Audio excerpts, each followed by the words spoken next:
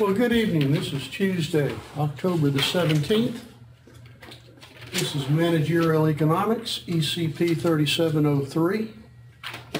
And examination number one closes this evening.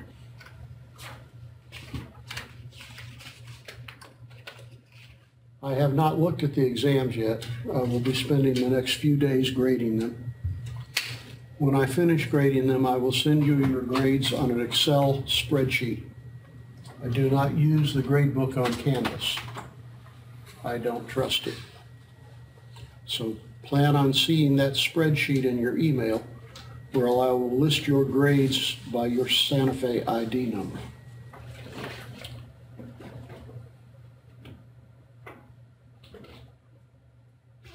I will also be spending the next four days grading both assignment one and I believe assignment two is due when? I don't know when it's due now, but I know it was originally due Sunday. Yeah, I think I extended it till Tuesday. I'm, I'm not sure, but I know there's a bunch of them already turned in, so. I'll be working on that. What's on your mind? Anybody? Anything?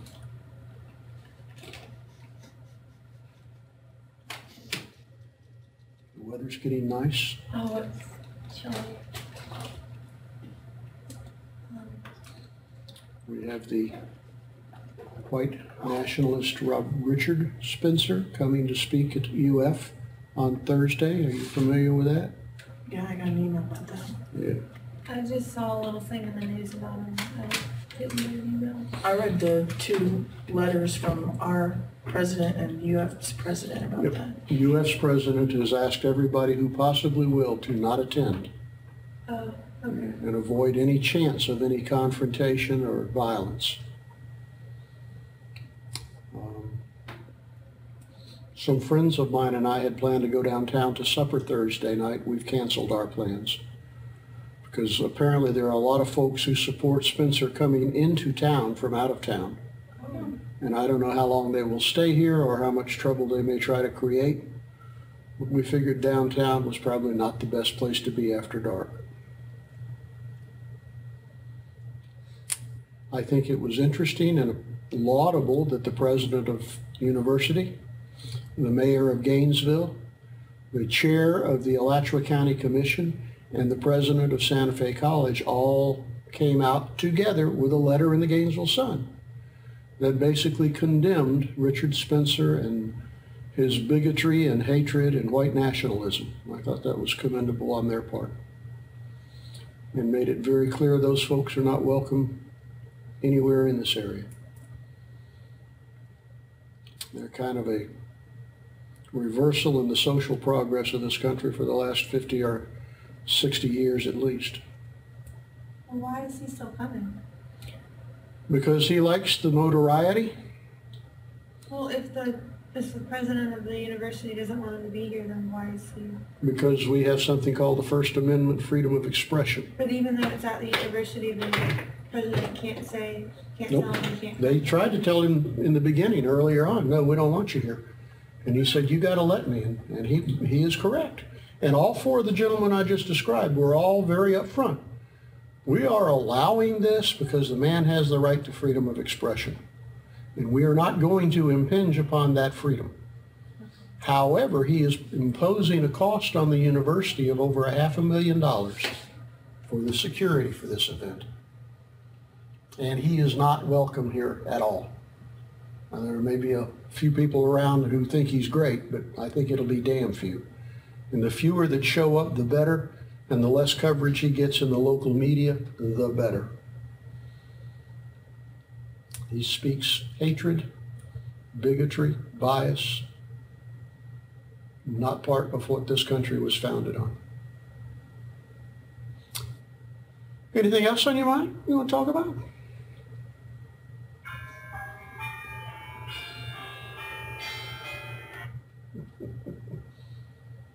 Friend of mine, you just butt dial me again. Oh, well.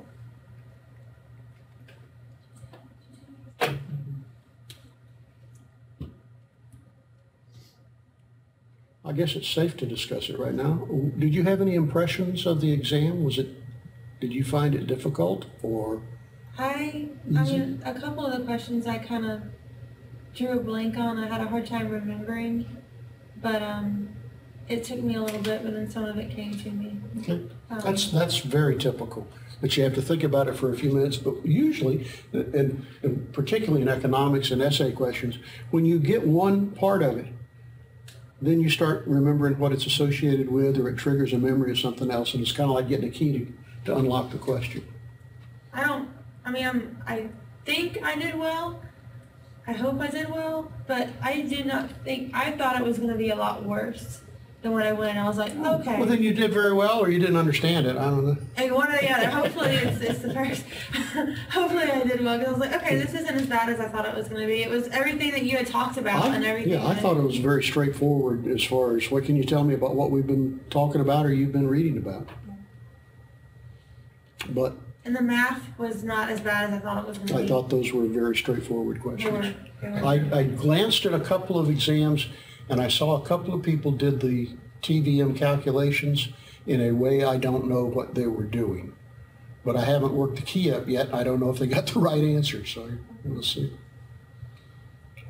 I couldn't, I couldn't get one of the math problems. I don't know why, and I thought I thought I knew what I was doing, but this, there's no way the answer was right. It didn't Which make one? sense. The sec, the second one in so number With the six, two I girls? guess, with the two girls. Yeah. Oh, one of them, I I, could not had get to. that one. I, I had to think do the it a couple problem of was- times. I had to do that one a couple of times. I got one and I was like, "There's no way that's, That's right." what I said. So I read it the first one and I'm like, I, I got that right. I think I got it right. So I read it the second one and then it ended up a different number that looked correct. The So I was like, problem hopefully I that's had was, I did it with the three fifty amount, and then it came out wrong, so I just did a rough calculation of it, and it was like way less. Yeah, So I that's knew that I had to too. multiply the three fifty by twelve to get an annual amount. Yeah, that's what And I should have then- done. I and looked up then after I it. left, and I was like, That oh, was the yeah. problem I had with Yeah. it.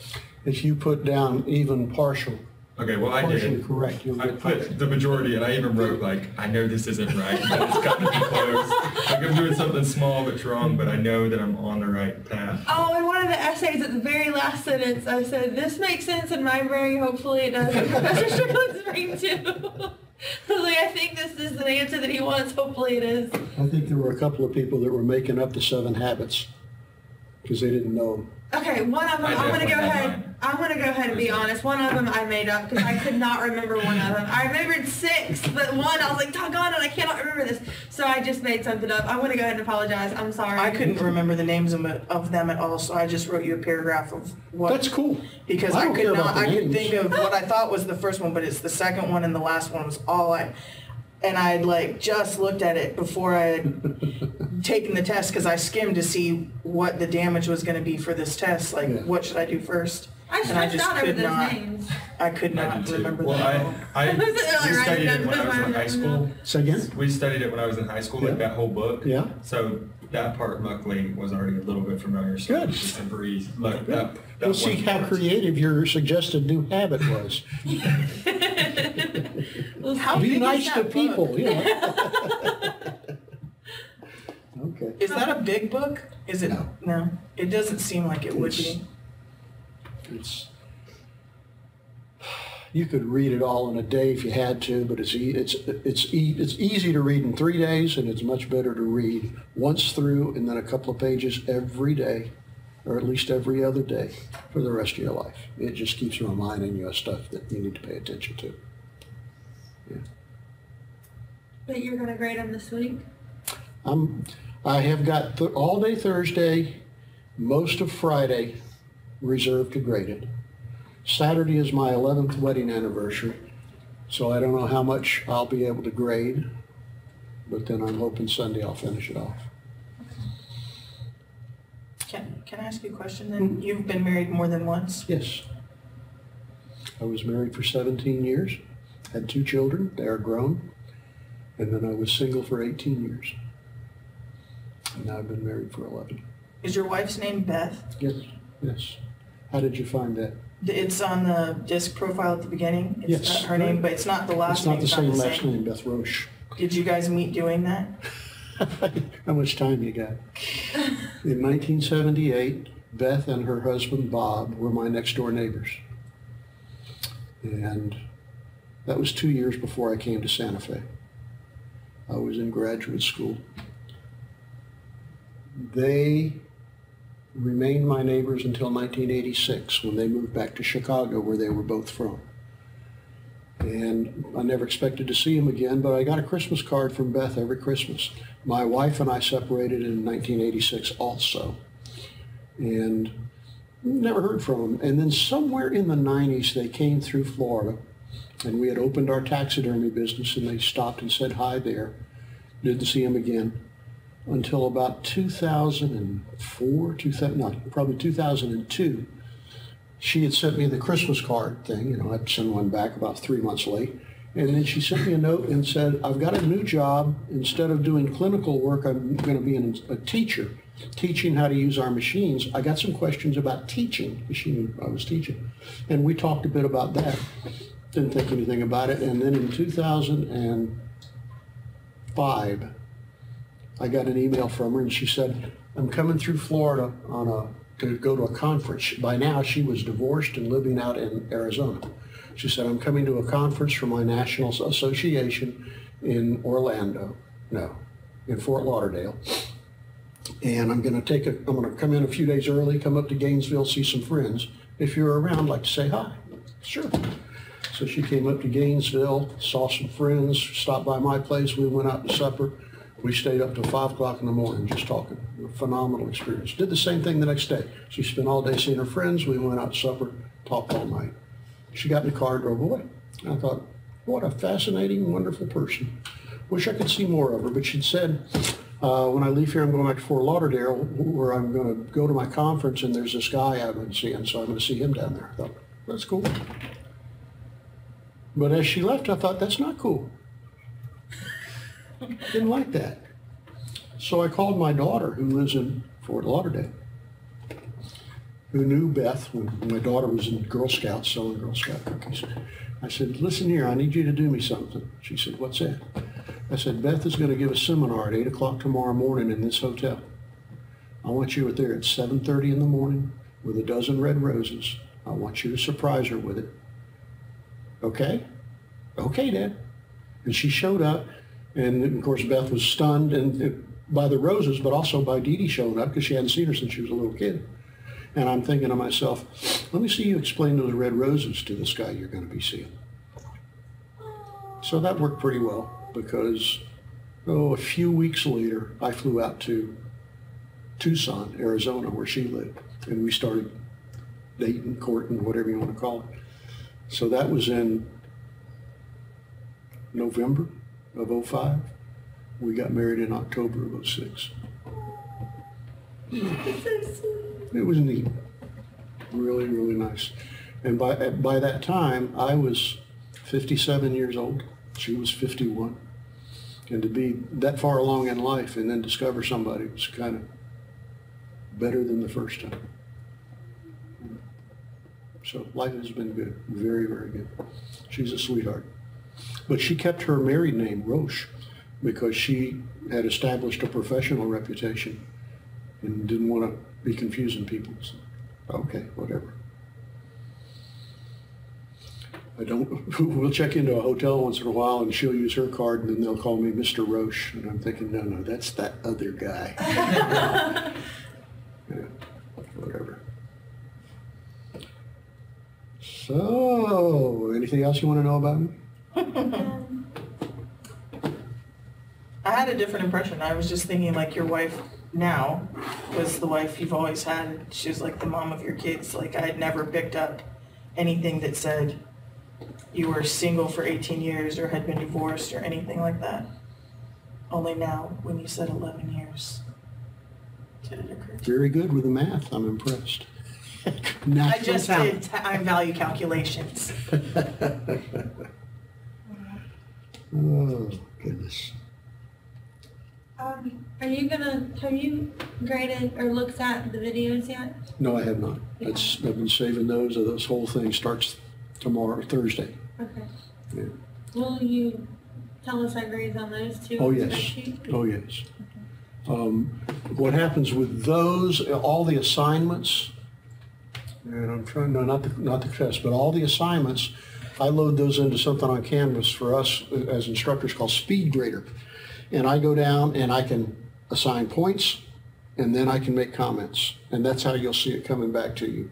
I'm not exactly sure what it looks like, but it'll come back to you as the results of this assignment, and that'll have you grade. I think it shows under recent feedback. Especially, I think it shows like under Hmm? Recent this thing, under recent feedback. It's like a little tab that runs on the side that shows you upcoming assignments and Okay. stuff. And it comes down there, just so. you know.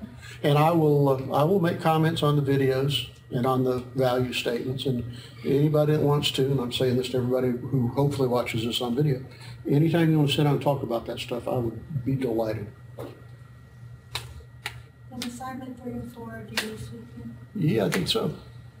Okay, I have a question about that because four is, uh, what, what are we supposed to be doing about that? Are we, What is four? Read- read it to It me. was the one where it's a mock meeting and you have to Oh. do the salaries and, Yeah, you've got a meeting with about, I don't know, seven or eight people coming to it, and you know the salaries of each person.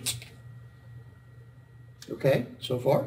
So if a person makes thirty-eight thousand dollars a year, we usually figure that the year is fifty weeks at forty hours a week, or two thousand hours. So two thousand hours equals one year. So if you're making thirty-eight thousand dollars, for 2,000 hours, you're being paid at the rate of $19 an hour. So if you do that for each person attending that meeting and add up how much each one of them is costing you for that one or two hour meeting, you get an idea of what that meeting cost financially. And what I'm trying to do is, is paint you a picture with that exercise. What is the financial cost of holding meetings? But then also, what is the social capital cost?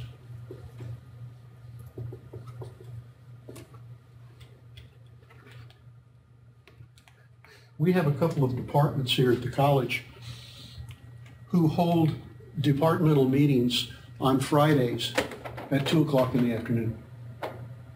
Now, you may not be aware of it because you're not out here on, on, during the days or particularly on Fridays, but on Fridays on this campus, it is like a tomb. It is deserted. We have over the years structured almost all, not quite, but many, many, most of our classes, classes to meet either Monday, Wednesday, or Tuesday, Thursday. And of course, for the department chair and the administrators, Friday is the only day they know they can get all the faculty to show up because so few people are teaching. But what happens when you give people which is uh, what is effectively a four-day week? They come to expect it. And they make other plans for Fridays. Now, I tell you, I, co- I come out here Fridays, I see other people out here Fridays. We're working on our own. We're working in our offices. We're doing stuff, but not every Friday. And so when you throw in and say, hey, we're going to have a departmental meeting every other Friday at 2 o'clock, what do you suppose people, how do you suppose people react to that? The majority of them are very upset, very angry, very resentful. And that's that social capital cost. What happens when you impact the morale, the attitude, the social capital, the trust, the giving, taking, working together between your employees? They start grousing and complaining, and they feed each other in their anger. And the distance between them and their department chair grows, and so that principle of exchange and the trust involved is diminished. And so if you're having a meeting every other Friday at 2 o'clock, you can tell me how much it's costing in money terms, but can you give me some, not quantitative, but qualitative description of what else that meeting is costing you in terms of your, your morale of your people and their excited, their level of excitement to go to work, et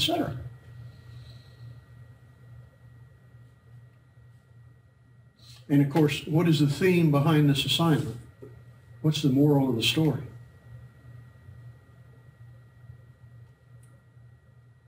cost benefit analysis? It it is an example of that, but what, what, what, what do you suppose is my feeling or my, my you know, teaching point that I want to get across to you about meetings? Make them where they, you don't diminish social capital and they want to participate and do it. Make 'em Good, count. you're right. Say again. Make them count. Make them count if you absolutely have to have them. Think about this. Traditional businesses through time have been somewhat pyramid shaped. Top management, very few people. Middle management, middle managers, okay? And the people who actually did the work, right? What happened with the advent of computers in the 1980s? Well, we discovered that what middle managers generally did the most of was they relayed information up and down. Here's our quota. How's your sales going? We need to ramp up more production on this. We need raw, more raw, raw materials on that. Here's how we're doing. Here's how our quota is. Here's what our sales are doing. And so they were information transmittals, okay? A conduit. What do you suppose computers did to that? Disrupted. Computers said that where you used to have 200 people, you could do it with about 17. And middle management got wiped out. That's what happened in the 1980s. That was the technological impact on middle management of computers and improved communication. Given that, we have this technology that allows this communication. My question to you, if you are up here, is do you really need to see these people physically in front of you in order to communicate to them? And I suggest to you that 98% of the time, the answer is a resounding no. And you should reconsider, if you're having regular meetings, whether they are absolutely essential, and if you cannot reduce the number and make them more worthwhile, or even more fun in the business programs department here at Santa Fe College. With every director of that program I've seen now for 38 years, that's six different directors, none of them had a faculty meeting except at the beginning of the term. That's all we needed because then they could, they could still communicate with us along the way. So the point of exercise number four is for you to appreciate the various costs of holding meetings and understand that that is something to be avoided, if at all possible.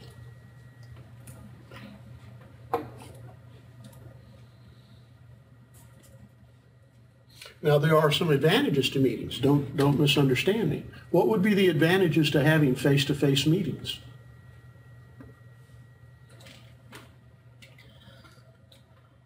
Make sure you get your point across. Everyone Good. can understand how serious you're being. clarity of communication.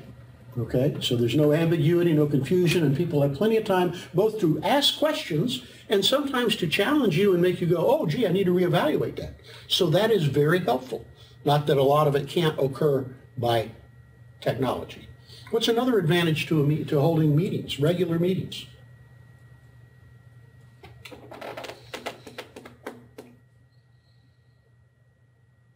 Discuss department-wide problems.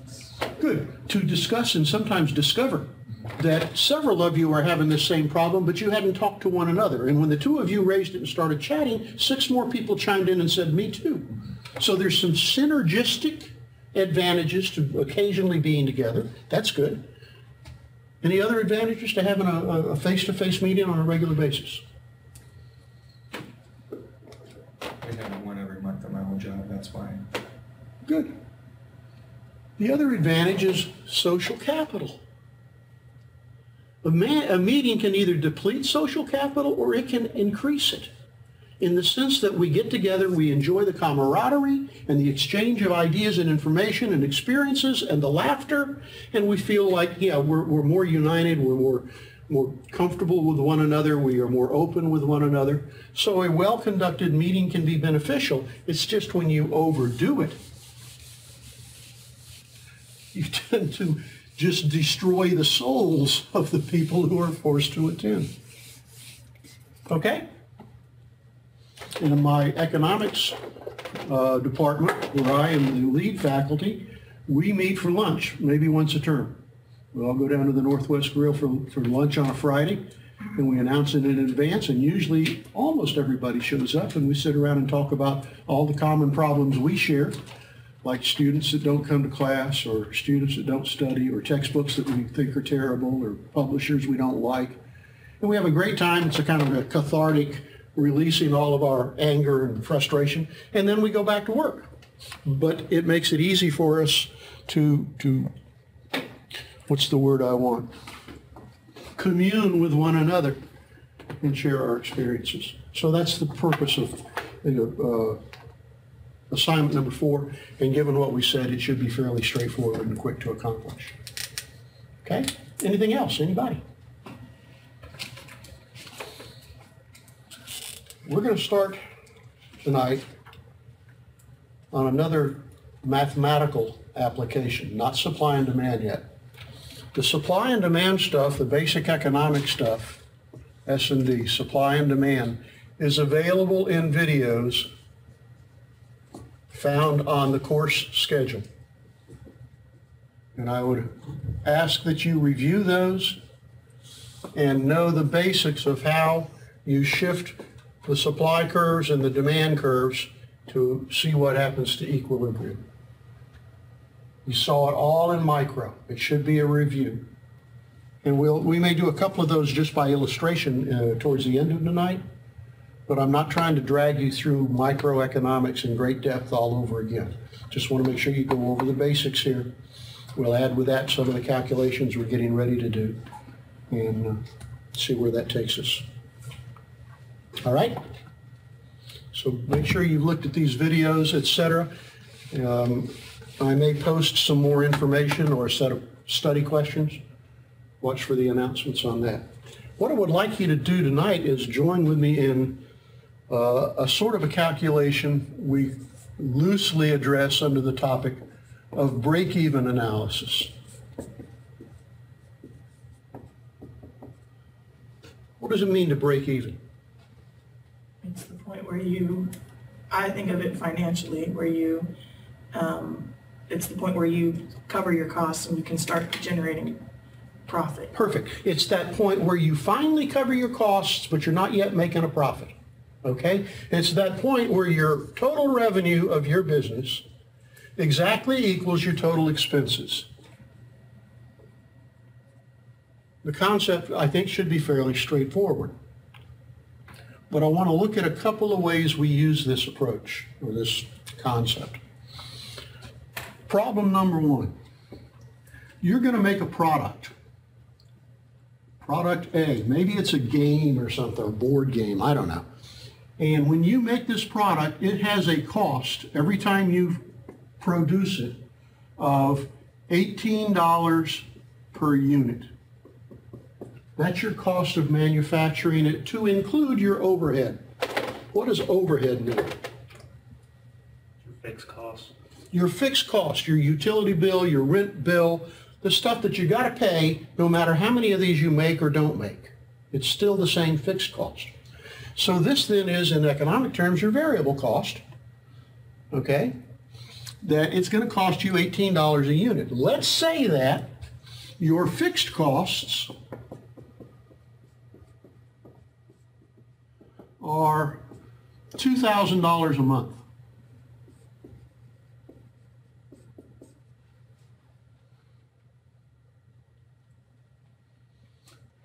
So at the most basic level, riddle for me this, if I can sell these things at a price of $40 each, how many of them do I have to sell to break even?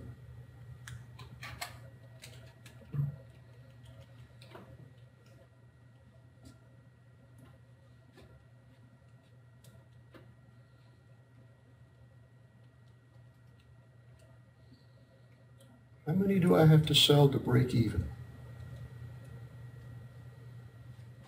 Ninety-one? I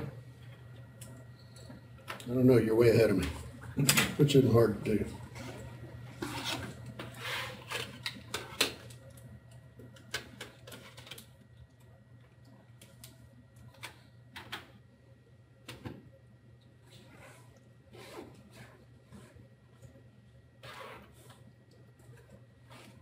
How many? Ninety-one? 90, I thought you said 71, I'm sorry.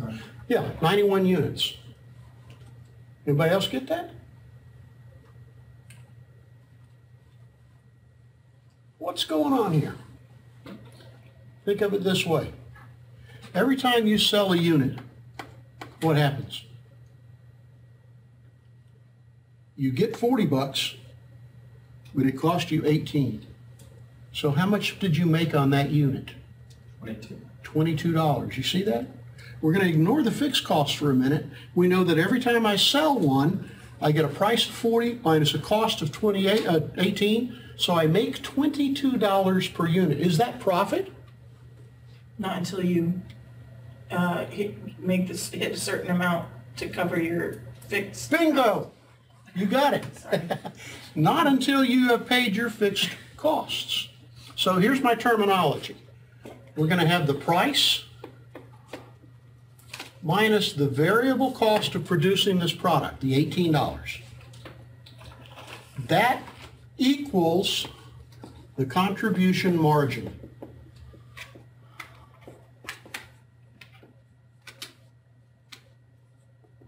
In this case, 40 minus 18 equals $22. And so I want you to get comfortable with the idea of contribution margin. If you've taken accounting, you might have loosely called this gross margin.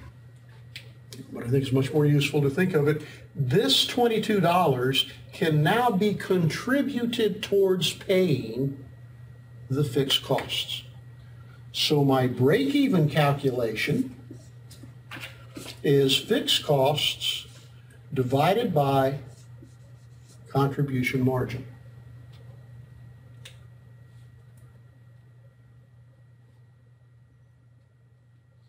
In this case, I got $2,000 a month in fixed costs. I got a $22 contribution margin. It comes up 90.91 units or something like that.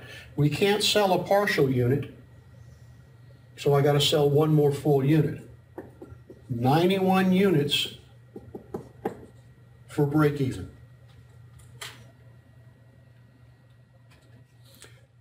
Well, at 91 units, how much is my revenue?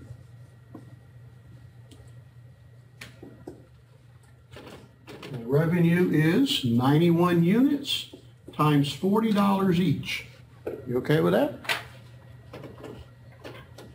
$364? No, three thousand six. Three thousand six hundred and forty dollars, thank you. Okay. How much is my costs?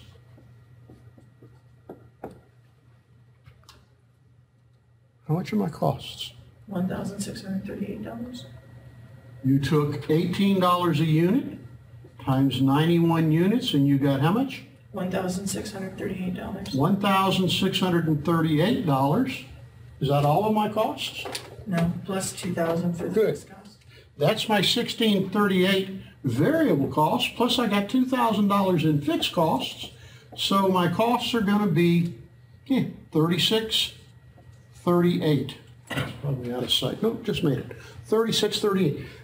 There's a little bit of a rounding difference between that and 3640, but they are essentially the same number.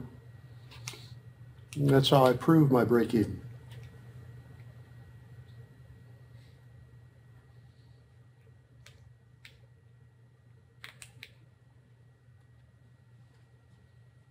Any questions, anybody? Not to? Advanced. If you can see what the contribution margin means, I think that's the quickest way to understand this in a hurry. I'm gonna make 22 bucks a piece on these suckers, how many I gotta make to pay my fixed costs? Okay so far?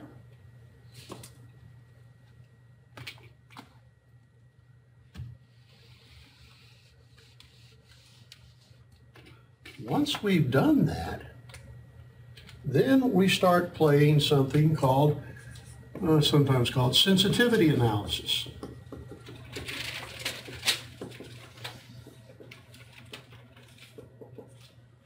Which might also be called what if.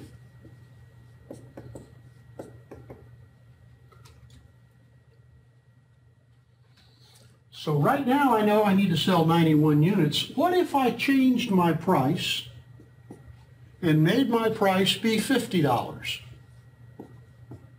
what would happen to my break even?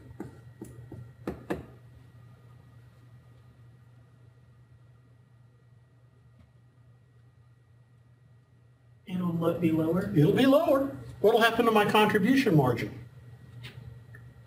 My contribution margin is my price minus variable costs. So that would be, I'm sorry, 50 minus 18, my contribution margin goes up to $32. Instead of making $22 every time I sell one, I make $32. So my break even is my fixed cost over my contribution margin, which is 2,000, now divided by 32 units. Whatever that is.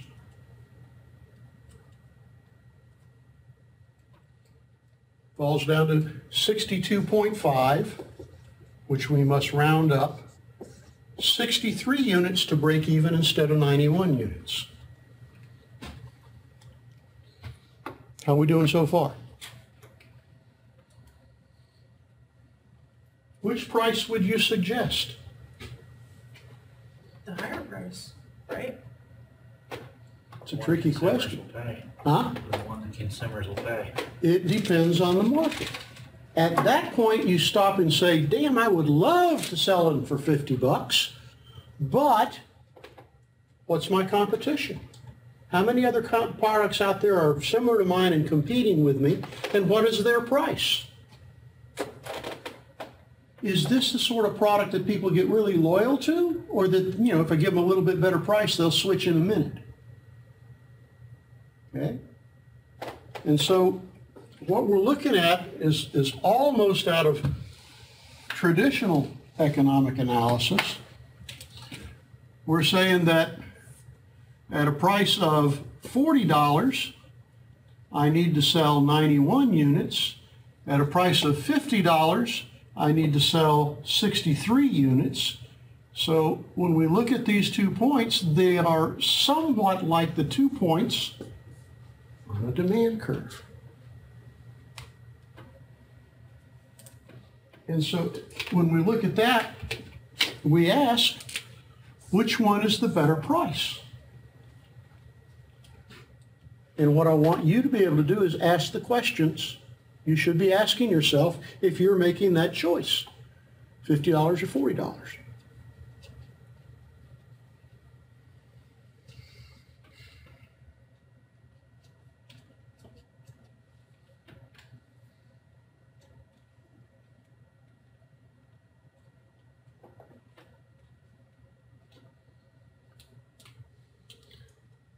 Okay, variable costs for 91 units, variable costs for 63 units.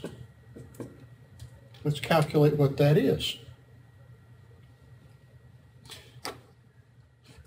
It's 18 times 91, or it's 18 times 63. It's either $1,638 or some number I can't do in my head.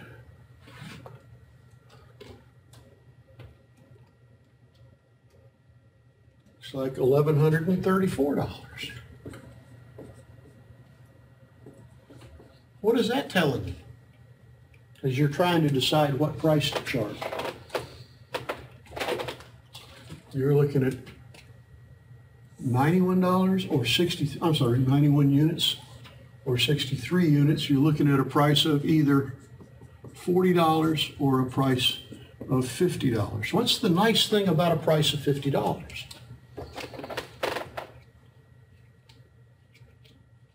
You make your break even point quicker. I make my break-even point quicker, and I have to invest less money into the business to produce my break-even output. I have to tie up less of my money this way than I do that way. The higher price has plenty of attractions. But not if you can't sell them yet. Bingo. I mean, it's going to be great if I can sell it for 50 bucks because I don't have to work as hard. But how much harder is it going to be to sell it $50 as opposed to $40? So you may not actually make your break even quicker because you're not selling the volume you need to get there fast enough. If it's hard to sell them at $50, but I know I can sell them at 40, this gets this could get to be quite a chore. But if I decide, for example, first of all, I've got, I've got to do a fairly good bit of research in the market, right? What have I got to know about the market? I got to know about my competitors. Who sells a similar product? How many are there? How many competitors? Where are they located? What message or brand do they deliver to the customers that make people want to buy their product? So I would want to look at their advertising. What kind of advertising? Where do they advertise?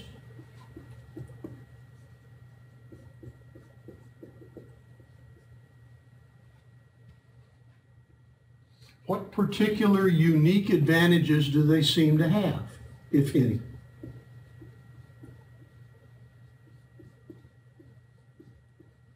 All of this falls under the broad topic of competitive, again, analysis. And sometimes we see the word used in here, benchmarking. What is the most successful competitor doing? And can we match or beat that? And in order to do that, we've either got to offer more or cost less.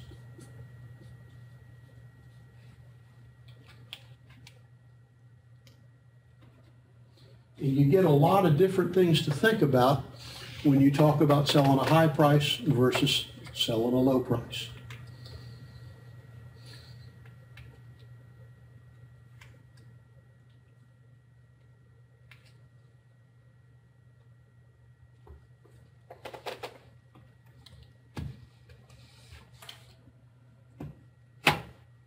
In terms of pricing strategy, to look at the extremes,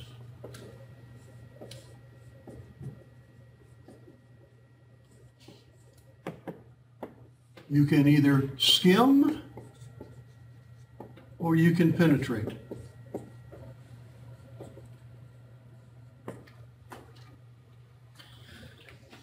Skimming is you're just going to find the few folks out there that are willing to spend plenty of money and you're going to sell to them.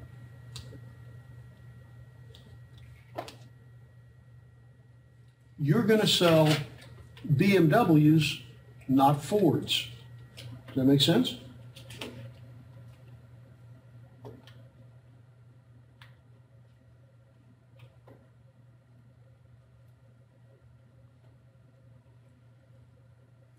If you're selling BMWs instead of Fords, what are you trying to sell?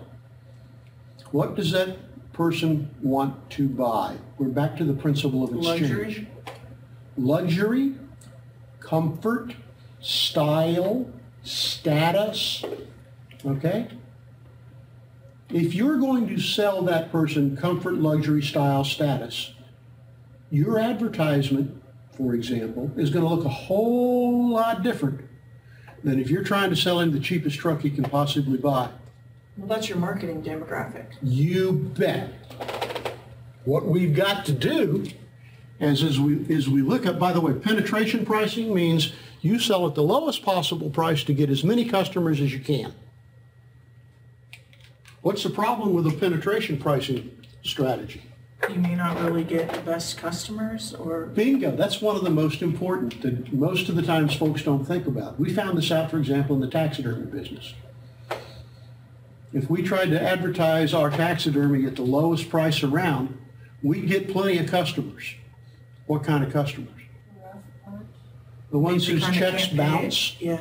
the ones who never come back and pick it up when it's done, and you've got to store it, and sometimes that gets to be expensive. Okay? The ones who complain the most are typically your nickel dimers. At the same time, however, if you can deal with that, set in place different policies, you know, we're going to have your deer head ready in 90 days, and if you don't pick it up uh, at the end of the 100th day, we're going to charge you storage on your deer head of $3 a day. That got rid of a lot of problems. People started picking stuff up on time pretty damn quick. That's hundred dollars a month if you don't come pick it up, okay? If your check bounces, okay? We're coming after you. We got an attorney, and we're going to impose a fee on you of $150 service charge for the collection of this debt, plus the amount of the check, okay? So don't bounce a check on us.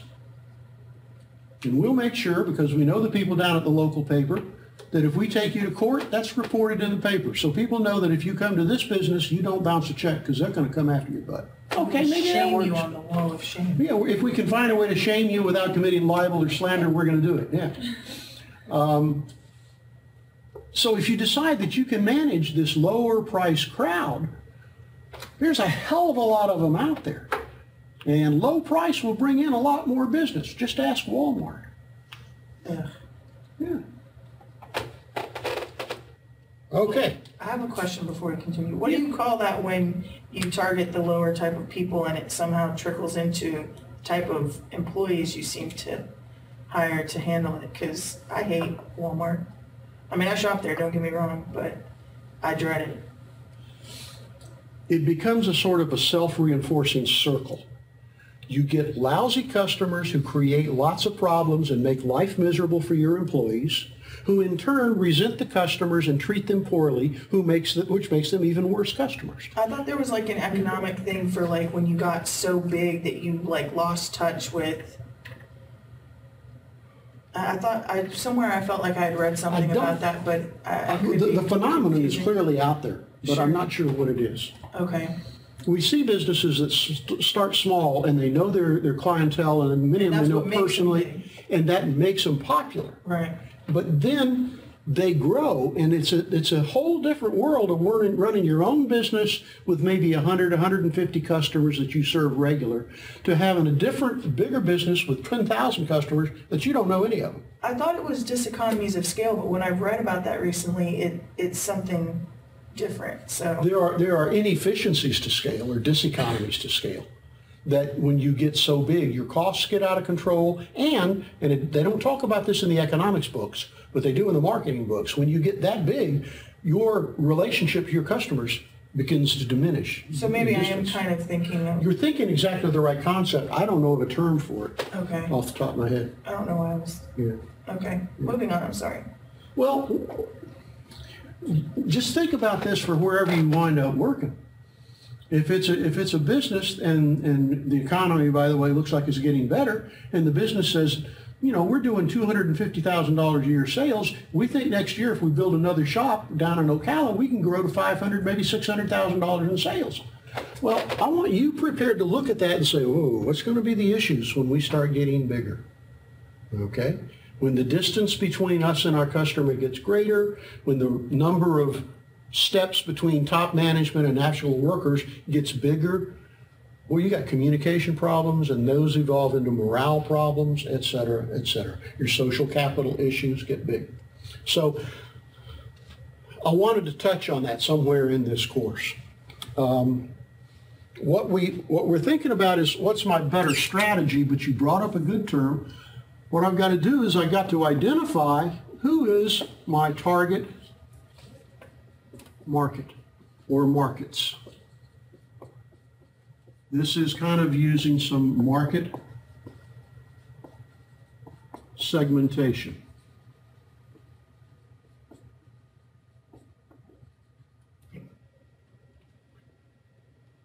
How many BMWs are you going to sell to people over 65 years old? Damn few. They're past sports cars. Most of them. Most of them.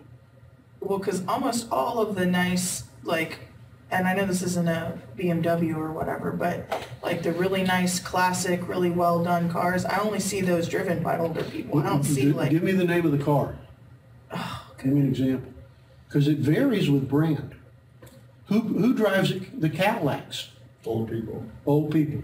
Lincoln. Lincolns, Buicks. yes.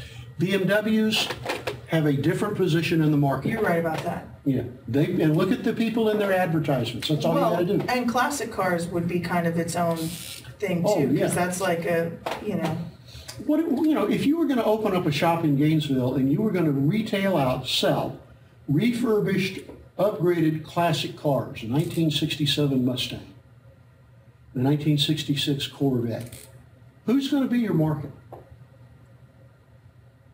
And I don't know, that's a tough question. Collectors, Huh? some collectors of like middle. Definitely collectors if you can figure out who they are, but do, do collectors or people who appreciate those cars, do they have some common denominators?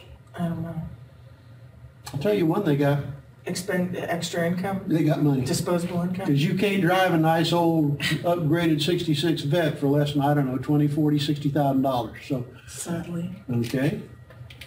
But what do you look for? You look for the common denominators in your target market. What do they have in common?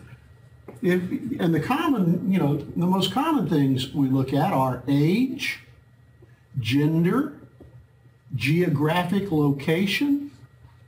Those are called demographics.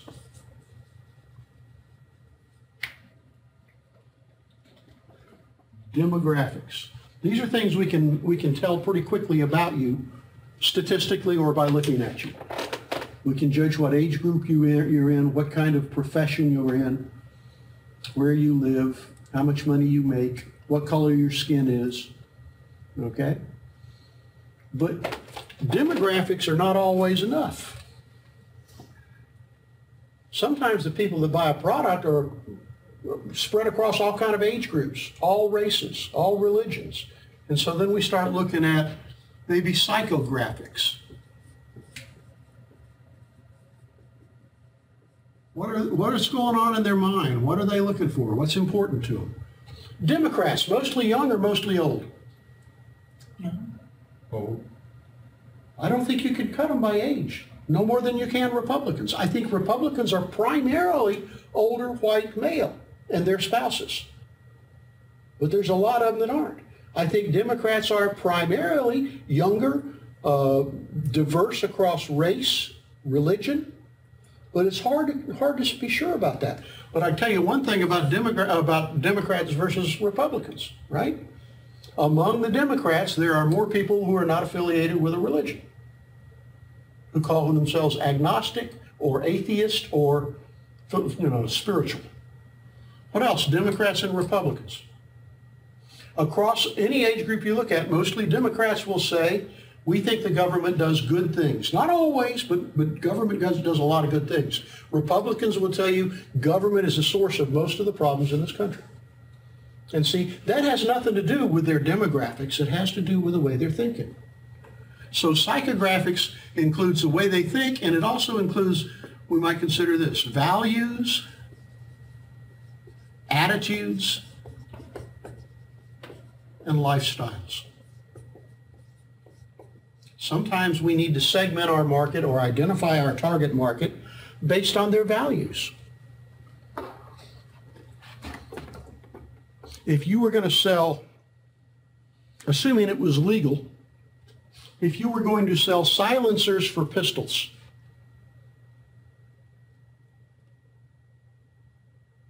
what kind of a value system would a person have who would want to buy a, a silencer for a pistol? Pro gun. pro- Pro-gun, cuts across all age groups, cuts across demographics. Okay? So as you look at your product, this is kind of where I, I wanted to finish anyway, but as you look at your product and remembering all this stuff in the background,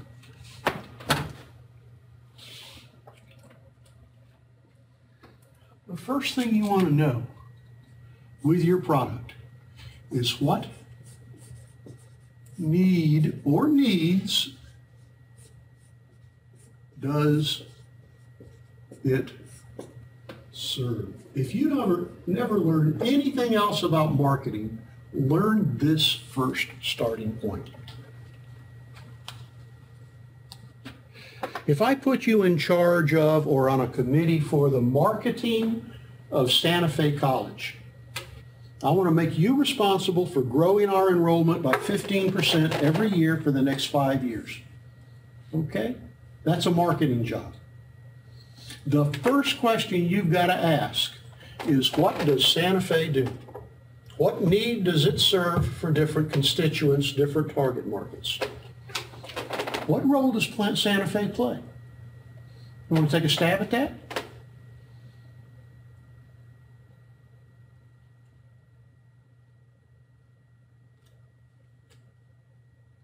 Educating to get people into the workforce.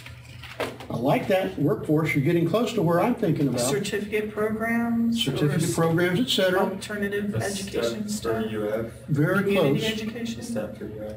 To me, Santa Fe is your easiest to get into, lowest cost route after high school. Okay? I'm not sure where you want to go, and I'm not sure where it may eventually lead to lead you. But I'm telling you that you came to Santa Fe, and those are two of the biggest reasons students come here. It's cheaper and it's easy to get into. Not necessarily easy to get out of but it's easier to get into. And if you are going to the University of Florida, A, it's damn difficult to get in there as a freshman anyway. But this college transfers more freshmen into the University of Florida than any other college in, in the country. So this might be the right route to do that. So that's one of the needs Santa Fe satisfies. It satisfies another need, and you right here in this classroom are the example of it. It satisfies the need of people out in the real world leading real lives who cannot go back and be a full-time student, but could definitely use a bachelor's degree to progress their careers. And so we created the BAS programs here with exactly that in mind, that we would offer a route to a bachelor's degree in selected fields for people who could not quit their life and go down and be a full-time student at Florida, because that was the only way to go to school there. And I've been working on this since I started here 38 years ago. We had AA students who would finish here and they were damn fine students, but they had lives. They had families, jobs, children, parents to take care of. They couldn't just quit everything and go down and be a full-time Florida student. And I bitched and griped and complained about that for 20 years before anybody even listened to me. I went to Florida, to the College of Business, and I said, why don't you guys offer more day, nighttime programs and serve the community? And the answer was, we don't need to. We got all the students we want. And so St. Leo started coming in, and they helped, except they're expensive. And Nova Southeastern University out of Fort Lauderdale, they started up programs around here where you'd put about 25 people together, and they would do their junior and senior year by coming to class one night a week and every third weekend. And I taught for 10 years in that program because we were taking people who really had great potential but couldn't go back and be a full-time student. Two of the vice presidents at Santa Fe were students of mine 25 years ago in that program. So you've got to ask, what does Santa Fe do? What needs does it serve? Okay? This is the first step and the most important step of marketing is understanding what your people, your customers are buying. So this is the first step of a marketing plan. And this is going to apply if you're working for somebody who, like I said, wants to expand their business or wants to pick up a new product. Suppose you work for the guy out in Alachua who builds uh, uh, boats. He's a boating manufacturer. He builds fishing boats and ski boats and, you know, pleasure boats. They run up from about 16 up to about 23, 24 feet, okay? And suppose you got a job out there working with him and he said, listen, I'm thinking about starting to make uh, jet skis. What do you think? What would you be thinking? Jet skis. We have the technology to make them. We know how to build stuff out of fiberglass, put motors in it, and make it run like a scalded dog. What would you be thinking? The first thing you better think is, what does a jet ski do for people and what does that have in common with boats? And there looks to be a lot of similarities. And in fact, you may can do some cross-selling. You got a boat? Boats are a lot of fun. You know what else would be fun to have with you? A couple of these jet skis. Maybe you sell it to the same people. But you've got to start out with what needs does your product or service serve? If I'm selling you clothing, you come into my store and I've got nice suits, shirts, ties. What am I selling you? What need, what, truly, what am I selling you? I'm not selling you suits. I'm not selling you shirts. I'm not selling you ties. What am I selling you? Your personal life. I'm selling you your image of you and what you want other people to see. And if I can persuade you that that is what's going on, you will now consider me your friend and ally. If I can educate you about the impact of blue shirts versus white shirts, of black jackets versus brown jackets, of red ties versus pink ties, and you come to rely on me to help you make those choices, to present that image you want to present, to either feel the way you want to feel or go where you want to go, then I got a connection. But if you come in and I just say, what you looking for? I'm killing myself. I should be engaging you, asking you, what do you do for a living? You know, where do you figure to wear these clothes? You know, how big is your wardrobe right now? Do you like the job you're in? Are you looking to get promoted? I'm not going to ask you right off the bat, but I'm going to ask you along the way in some general, kind, caring, inquisitive conversation. All of this, starting with this step, also applies to me and you because we got to sell ourselves. This is back to a job interview. We're back to the first six weeks on a job. What need do you serve? When I interviewed for this job at Santa Fe, I was told off, I was an adjunct. I'd been an adjunct for one term, and they said, hey, we're going to hire a full-time teacher for business programs. Why don't you apply for it? I said, hey, great, I, I love that. I really like this job. They said, well, we've already figured out who we're going to hire, but we want you to apply for it. It would look good. I'm thinking, okay, I'll tell you what. Make me the last person you interview. Oh, sure, we can do that. Good. They had 25 people apply for the job. They interviewed about eight of them every day. For the first two days, I sat out here and watched them go in, watched them interview, and watched them come out, men and women. Guess what they wore? Nice clothes. What kind of clothes? Boots. Suits. Dark blue suits, black suits, white shirts, ties, men and women scarves, heels, closed-toed bump shoes, you know. And I'm looking and look like robots out of IBM. And I thought, what are they looking for here? What are they trying to hire? They want somebody who knows business, who has some expertise. But what do they really need here? Someone that's relatable to the students. Someone who can yeah, connect with the students. So I watched that for two days. And the third day, before I came out here, I put on a pair of khakis, a short sleeve white shirt, and a tie. And highly shined shoes. And I came out here with all my materials. And I went to my job interview. And all of my materials were brochures and my credentials from college, you know, but brochures on seminars I had taught around the country to land surveyors, architects, and engineers, wearing a coat and tie, looking like the authority. Whole list of different topics we taught. There's no doubt Strickland knew the business. But then I sat down with him and I, you know, I said, what you people really need out here is not just an expert in business, but somebody who can take your students and motivate them and help them get to where they want to go in life. That's what you really need out here, in my opinion. And I can do that. I can show you my evaluations. And at the end of the interview, you know, they were kind of, I had got them doing the bobblehead, the nod, you know, you like that.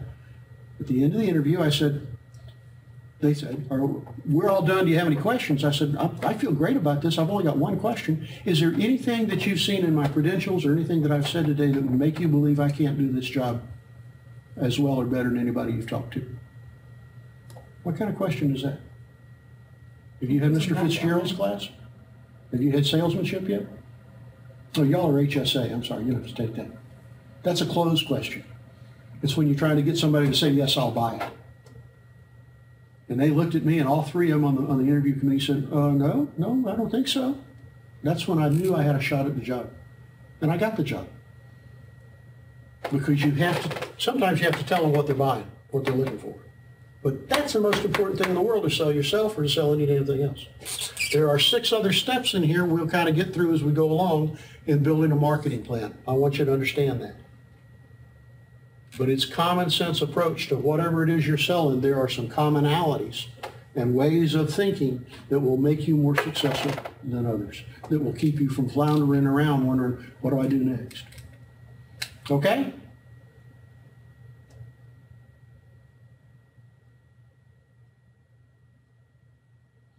I get in here in the evenings and I, personally, I really enjoy talking about these sort of things. Y'all sit there so silent. I feel like sometimes I'm just boring you silly. And that's too bad. Because it's my class and you gotta listen to it.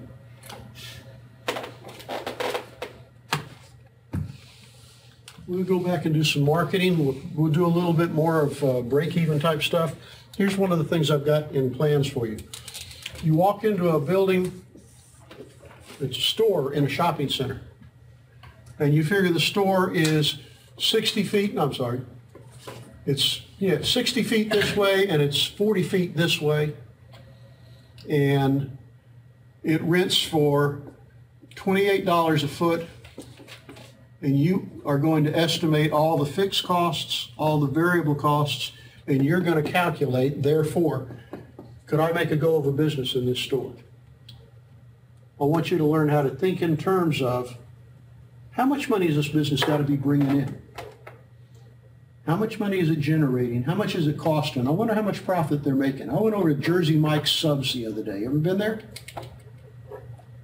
Walked into Jersey Mike's Subs and I, I just sat there waiting on my sandwich and started estimating. How big is this place?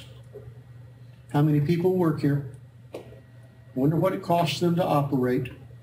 And then I started looking at counting the people who came out in the space of 15 minutes. And in 15 minutes, 14 people came in and out.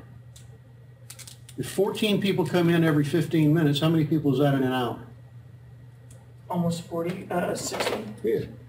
It's 28 times 2. If you can get 56 people an hour, how much does the average person spend on a sub and a drink? The answer I thought was about $11. okay? That tells me that they should be making 56 and 56. That would be $616 an hour. And if they're open for nine hours a day, what's that? 54, 14, 55. They should be making somewhere in the neighborhood of $5,500 a day if they keep that volume all day long. Well, they won't, so I'll cut that by 60%. I've already now got an estimate on what kind of cash flows coming into that business. And I can count the number of squares. How big are these tiles? Two, two by two. They're 24 inches each way, I think. I can count the number of tiles and tell you how big this room is. Pretty damn accurate. And if I know what rental rates are like wherever I'm at, which I can learn pretty quick, I can tell you how much it's costing them at Jersey Mike's to rent that store space. And I can look and see that they got four employees in there all the time, and I figure, what do you make when you're working in a, in a sub shop? Eight, nine dollars an hour. Counting payroll taxes and everything, those, those employees are costing them eleven dollars an hour. So I can tell you how much your payroll costs are. And at the end of all this, I can sit back and look and say, is this a viable business or not? I love to do that when I go into a restaurant. I sit down, I measure the size of the place, and then I take a look at the menu and see what the average prices are like, and then I count the number of chairs, seating places in the restaurant, and I figure out what their volume could be, and I, then I watch and see how busy they are, and I go plug all that back in, and I sometimes I look up and I think, this place will be gone in six months. Other times I'll walk in, I think, these people are a genius. This is phenomenal. I would like you to be able to think in those terms as part of just a, you know, an approach to life. Okay? So we'll play a little bit more with that kind of stuff. We will take a look next time at doing the supply and demand graphs, shifting the demand curve. Remember this, if you will. There are five things that shift the demand curve, and there are five things that shift the supply curve. You should know those 10 things. They're right there in those first videos. In fact, I think there are four PowerPoints that demonstrate that. I will check uh, Canvas again tomorrow and make sure they're available to you, but I'm pretty sure there are. There are some very simple supply and demand quizzes for you to practice with. You can anticipate that on the next exam, if there are eight questions, one or two of them will be with supply and demand. Two or three of them will be with marketing and that kind of thing. One or two of them will be with break-even calculations. That's kind of where we're going for the next exam. Okay? So still uh, made up of long response questions? Um, not so much. Okay. Not so much. I may borrow from the, uh, the uh, assignments I made you, like the meeting, the meeting planning, and I might give you a question out of that. Particularly based on what we said today. What would you do if you walked into a job where your manager was a really, really nice person and seemed to really, really like you, but he kept holding meetings at least once a week for your whole department of 17 people? You would begin to hate them. you would begin to wonder why. And then my question might be, what is this doing to the company? Well, if you have a good rapport, why wouldn't you maybe suggest that to him to make That- more? First, I want you to appreciate the situation. Oh. And then my next question would have been, assuming that this manager of yours appears to be an S personality, how would you go about attempting to persuade him that he's having excessive meetings and, and maybe should rearrange things? And I think that's a realistic challenge in, in the work environment. How do you persuade him to change his mind? And he's an S personality. What does an S personality want more than anything? Aren't they the social? Yep. S is for social, S is for stable, S is for team player, and they, He wants to be like, so you sell him on, this will make you more favorable with the people working under you. not just like, they want everybody else to be happy. They want harmony and security from threat more than anything. They don't want to be confronted, challenged. They don't want people angry at them. They want them happy and harmonious. So how, how would that color what you would say to this person? mentality is people are gonna start getting agitated and not look forward to Good. Now, how do you say that in a way that won't hurt his feelings?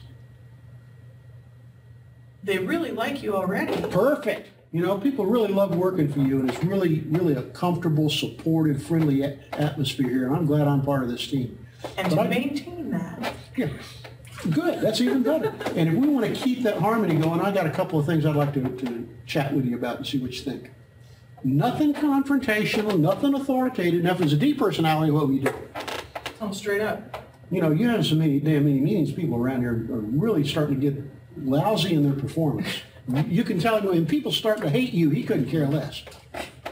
You're supposed to get the job done. But if you say it's really impacting performance and it's going to reach up and bite you in the butt one day if you're not careful, he just wants the facts. But how do you broach that? How do you express that? Okay, anything else? I have a question. Yeah. This assignment three, it says at the end, discuss whether any of these behaviors might be acceptable in certain circumstances. Um, do you mean like, this isn't the way that you are all the time, but you could employ this type of behavior in a situation? Or Yes. like, this is how you are in general and people pretty much hate No, you, so there's. No, I mean, would one of those behaviors in a particular point in time and a particular situation perhaps be more acceptable? Okay, Okay?